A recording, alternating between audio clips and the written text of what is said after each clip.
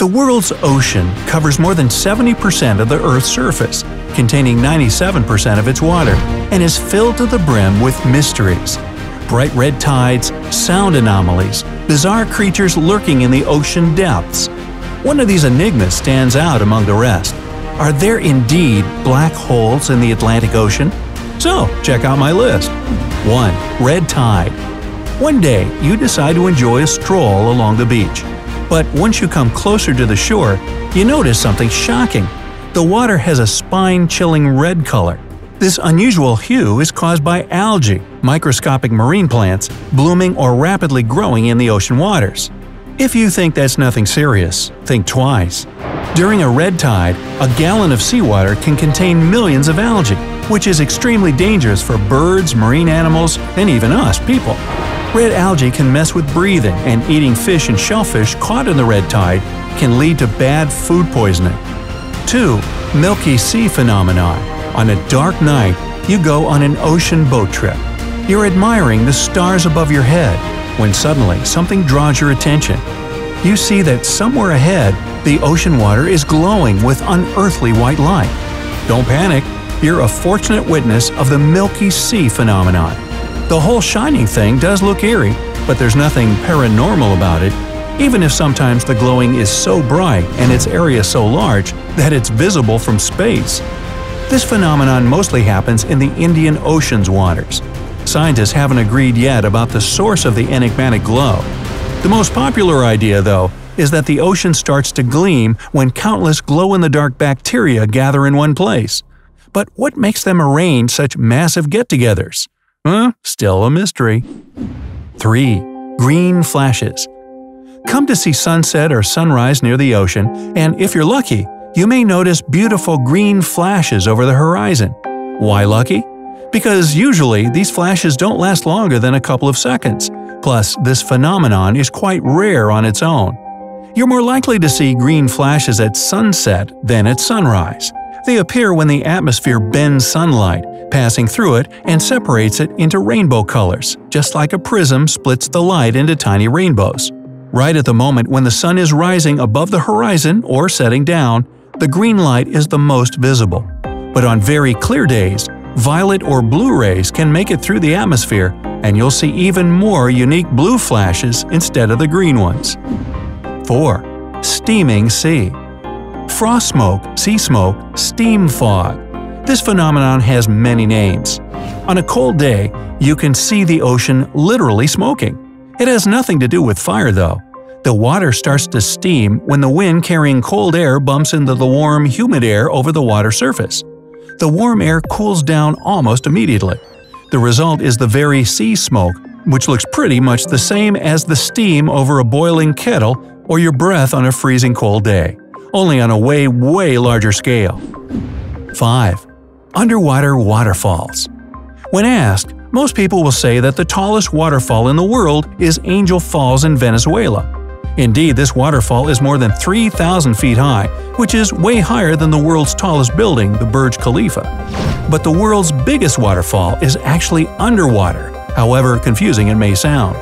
The Denmark Strait Cataract, that's the name of this mind-boggling phenomenon, lies between the Denmark Strait that separates Greenland and Iceland.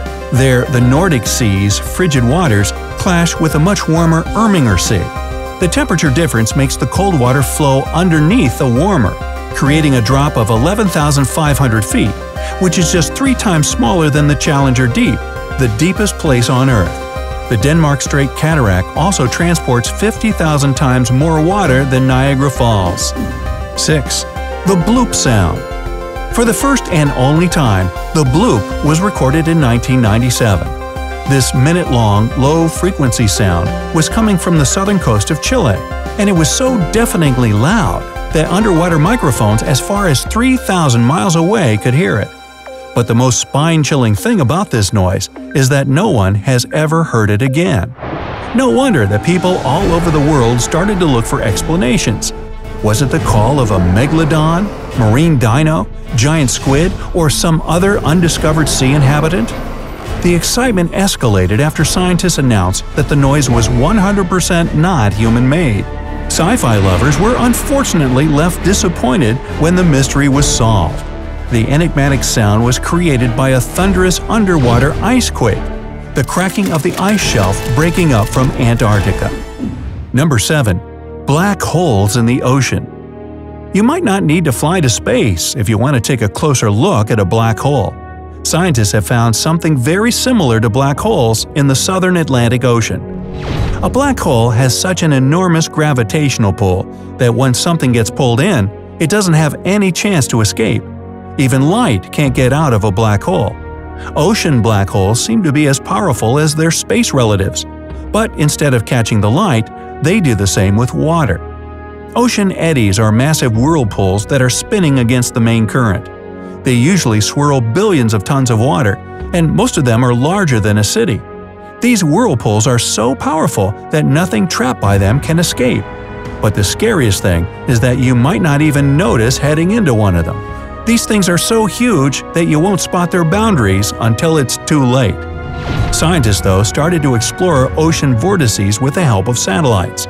That's how they discovered the borders of several eddies. After that, they managed to prove that mathematically, these whirlpools are the same as mysterious black holes in space. Massive eddies are surrounded by super tight barriers where the fluid is moving in closed loops. Even water can't get out from the inside of these loops. That's why tight ocean vortices kind of play the role of ginormous containers. Water inside them can be totally different from the ocean surrounding an eddy. And I'm not only talking about its temperature, the salt content inside and outside a whirlpool often differs as well. Black hole-like ocean eddies are surprisingly stable.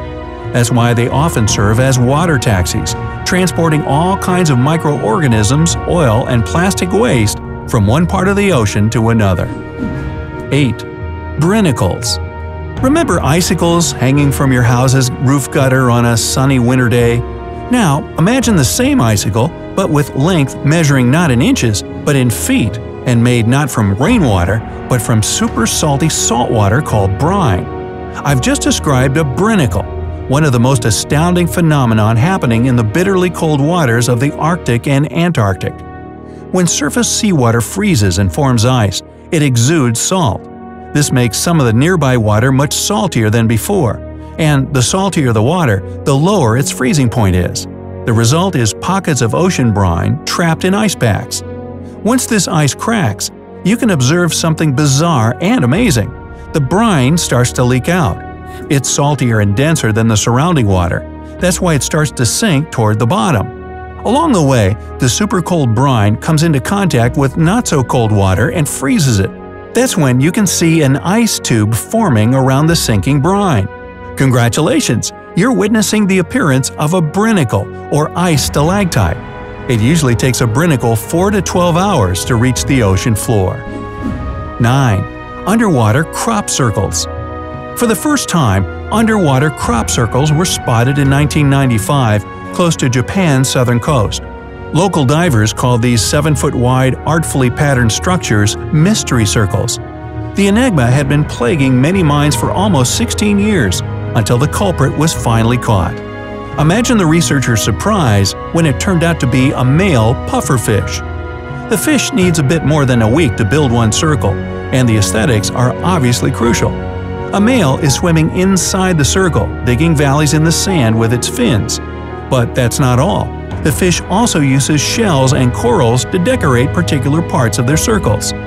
But the whole build a circle thing has a practical purpose as well. The way a male fish swims pushes the sand towards the center of the circle and creates a mound which later serves as a nest. Ah, he's getting ready to be a daddy. Hey, if you learned something new today, then give the video a like and share it with a friend. And here are some other videos I think you'll enjoy. Just click to the left or right, and remember, stay on the bright side of life.